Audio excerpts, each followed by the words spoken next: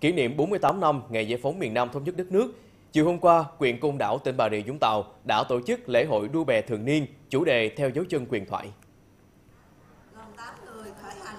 Đây không chỉ là hoạt động thi đấu thể thao đơn thuần, mà còn là hình thức tái hiện lại những cuộc kết bè vượt ngục của các thế hệ tù nhân Côn Đảo năm xưa.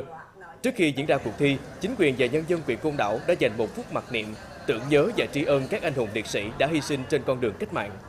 Trải qua hơn một thế kỷ tồn tại của nhà tù Côn Đảo, đã có hàng trăm vụ nổi dậy vượt ngục của tù nhân. Trong đó, rất nhiều cuộc do tù chính trị tổ chức để vượt Côn Đảo trở về đất liền tiếp tục hoạt động. Những năm gần đây, cứ mỗi dịp kỷ niệm ngày giải phóng miền Nam thống nhất đất nước, quyền Côn Đảo lại tổ chức hội đua bè, tái hiện lại những cuộc kết bè vượt ngục của tù nhân Côn Đảo năm xưa.